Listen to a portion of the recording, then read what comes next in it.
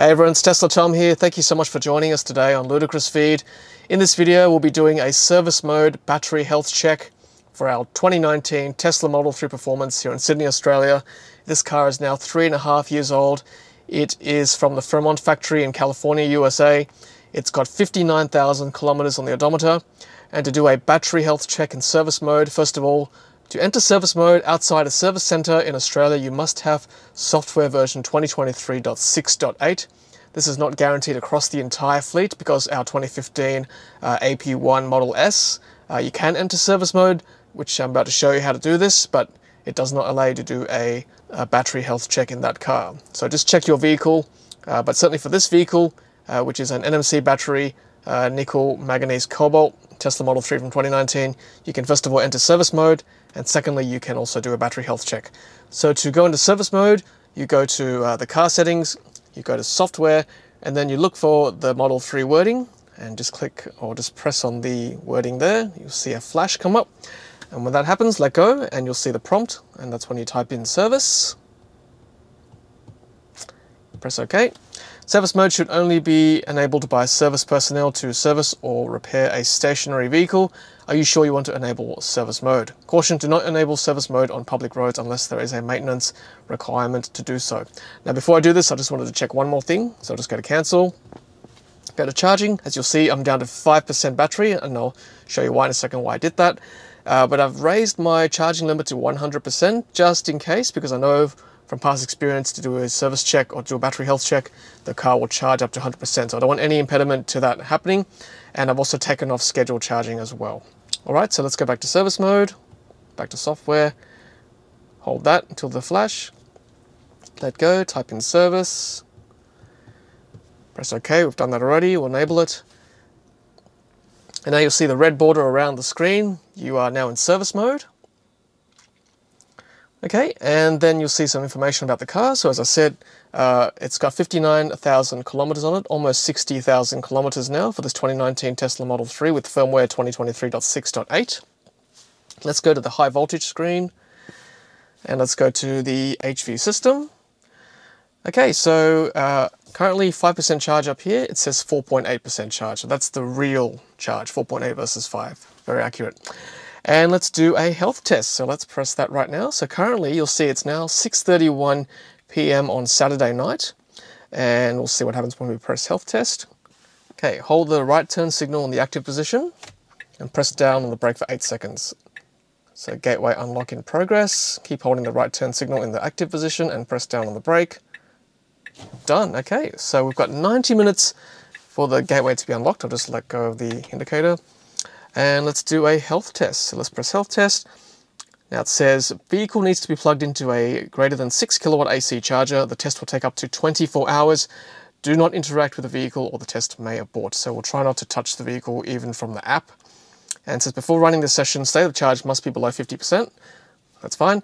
Vehicle must be plugged into an AC charging station capable of supplying at least 6 kilowatts. Test may take up to 24 hours. HV battery will be discharged and then charged to full. Heat will be generated outside the vehicle during the discharge.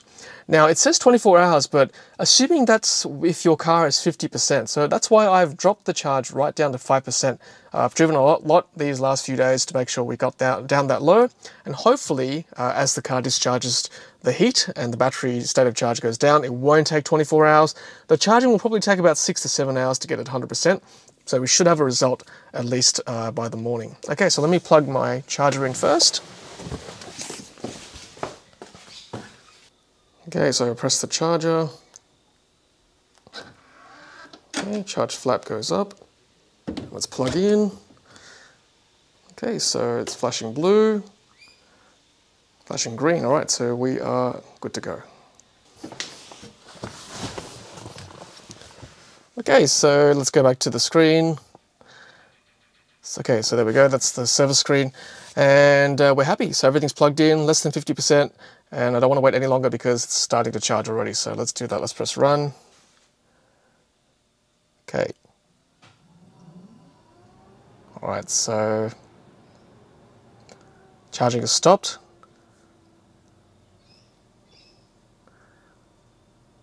So it says here, test in progress. You can stop it, but I don't want to. I wanted to hopefully run it down and we should hopefully uh, hear the car starting to discharge very soon. Okay, so um, it's now 8.52 p.m., same night, Saturday night. Uh, so the battery's run down to 4%, but not because the car did anything. Um, I've never once heard the fan go crazy or try to dispel heat.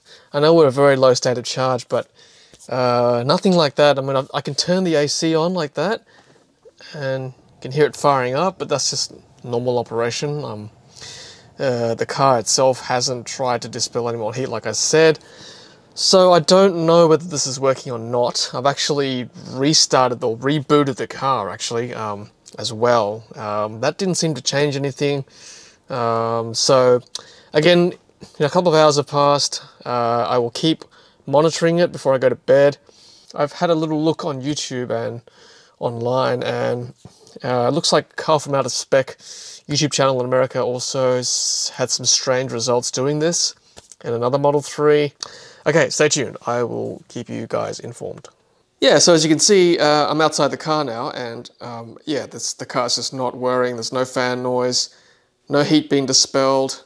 So, not sure what's going on. Uh, I'll just keep waiting. Okay, so it's the next day, everyone. It's 11.28 a.m. on Sunday, and uh, I've got to say, nothing has happened. In fact, um, yeah, the car started charging itself. Now, I actually kind of forced the issue a bit because I woke up this morning, it was still 4%, no noise, nothing had happened, and I realized that uh, I think the car had actually been in stop charging mode, and by that I mean, in under charging there, it was uh, it was sort of start, it said start charging, which meant that it was like stopping itself from charging, so I thought maybe if I press start charging, then it might do something, and then the car started charging itself at 11 kilowatts at top speed, three phase, which is what we have here in this house. So yeah, it still says test in progress. Um, so I don't know whether it's actually doing anything and I can still stop it if I want to. It's charging. It's over 50% now. So as you remember, uh, for this battery health test to take place, one of the conditions that must be met is that the car must be under 50%. So as you can see, it's now 50.7%. I don't know whether we're going to get a happy ending from this exercise. We shall see when we get to 100% whether it actually gives us a percentage or not. Uh, positive to take out of this is that I can at least uh, go back to the Scan My Tesla app with my OBD device and then give you, I guess, an update on the uh, current uh, battery capacity in kilowatt hours. Uh, I think the Scan My Tesla app will probably give us uh, more information and more stats for nerds which is what I want to see. So anyway, we'll see what happens when we get to 100%. I'll certainly keep everyone updated. Stay tuned. Alright, so ladies and gentlemen, uh, it is now 4.02 p.m. on Sunday, 29 degrees Celsius. It's been a warm day, uh, humid as well here in Sydney, Australia. And you can see that the battery health test has completed, which I'm very happy about. And look at that, 91%. Let me just zoom in for you so you can see Hope you can see that. So 91%, okay, so I'm pretty happy with that, obviously. 91% for a three and a half year old Tesla Model 3 Performance uh, with an NMC battery chemistry made in Fremont, USA, uh, three and a half years ago. So yeah, that's that's good. Um, so, I mean, uh, it's 4.02 p.m. We restarted the test at 9 p.m. last night, if you recall from earlier the video. So that's uh, 16 plus 3, that's 19 hours. So just 5 hours under 24. So I think we probably could have done this sooner. As you saw earlier, I actually forced the car to charge uh, earlier this morning. Basically, it sat 4% idle on battery state of charge for about, probably about 12 hours. So I wonder whether had I restarted or forced the car to charge earlier, I would have got a result much sooner. Anyway, nonetheless, uh, uh, you know, 19 hours later, 19, 91% state of, 91% uh, battery health, which is great.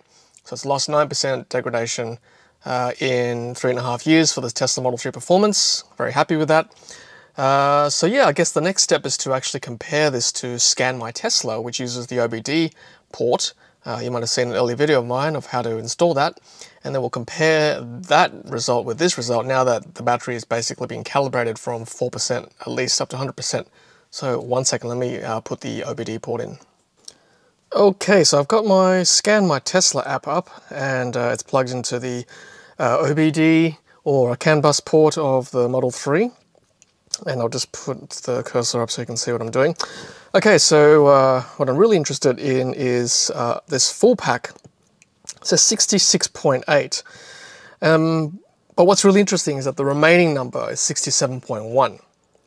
Now normally the remaining number is either equal to or, the, uh, or less than the full pack number. I guess at this very top end at 100%, uh, it's kind of hard to know because, you know, it's I guess it's not quite uh, super accurate at the top at 100%. So what I can do is actually divide uh, both 66.8 and 67.1 divided by the uh, you know the range of this or the rated range of this car which is 74 and that's what the developer of this app Scan My Tesla has told me to use.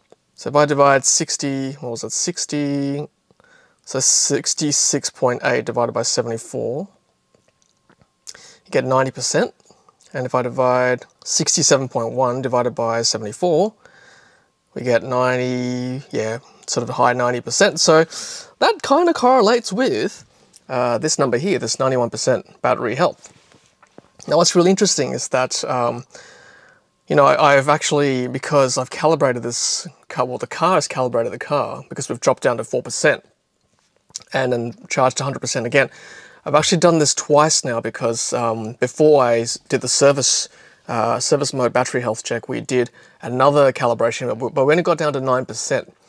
Uh, and since then we've charged a couple of times because we've driven for a few days in between tests. So I guess the battery has settled down in that time and the quote unquote the battery range has increased uh, to this number, 91%.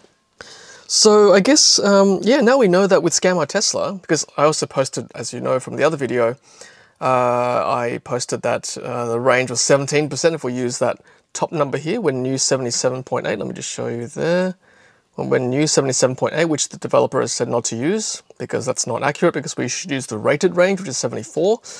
Um, if we change the rated range to 74 with my original battery capacity, which was 64, then it was a degradation of 13%, but now that we've recalibrated it again a couple of times, uh, now we know the full pack is now 66.8 at least. So we've actually jumped by 2 kilowatt hours uh, in that time that we've recalibrated uh, the battery. So from 64 up to 66. So I guess in summary, what can I make out of these tests is that if you're going to recalibrate your battery BMS, we should you should probably do it a couple of times uh, drain it, charge it 100%, drain it, charge it 100%, or at least close to 0% anyway down the bottom, if you can, if it's practical. Uh, let the battery settle for a couple of days and then do either a Scan My Tesla test or a service mode test like that. Um, and you can see there's like at least a 2 kilowatt hour difference between a, an uncalibrated battery versus a calibrated battery. Uh, an uncalibrated battery because we normally charge this car between 50 to 80% because we don't use that much during the day, during the week. Uh, so this car doesn't get much of a chance to go to zero or very close to zero usually. So that was worth doing. What's the margin of error? So 2 kilowatt hours uh, with a battery pack of 74 kilowatt hours, it's probably close to about 3% margin of error if you don't calibrate it properly. So if you don't want to calibrate it, then you'll know that the margin of error is between 2 to 3%. Uh, if you want to use Scan My Tesla instead of doing this test, which admittedly is a little cumbersome. It can take up to 24 hours.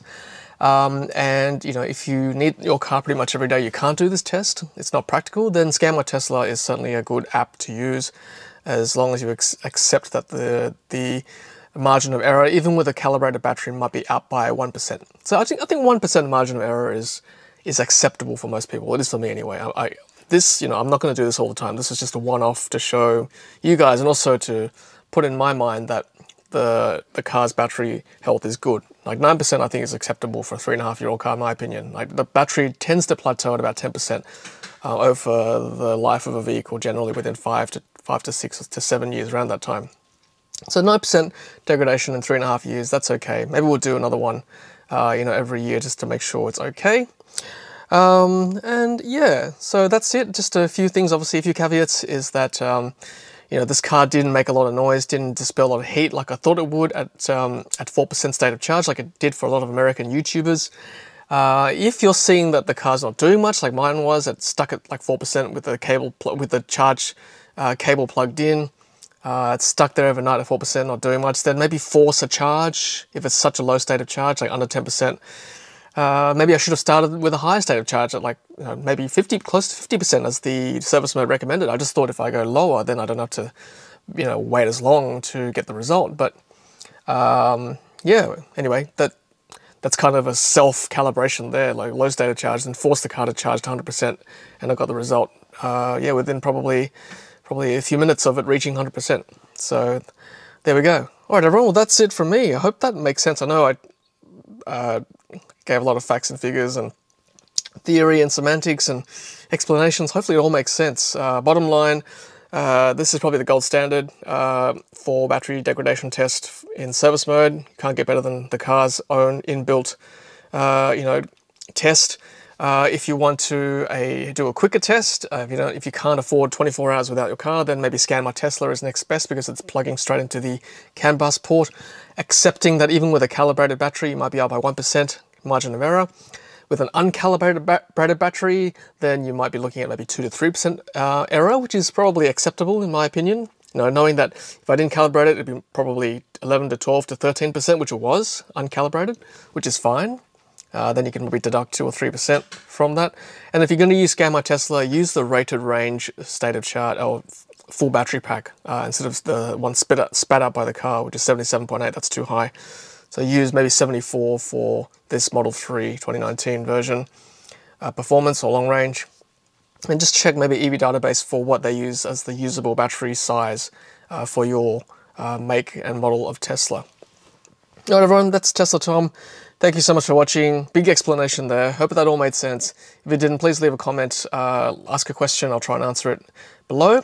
Otherwise, uh, thanks for watching. Until the next Ludicrous Feed video, happy charging.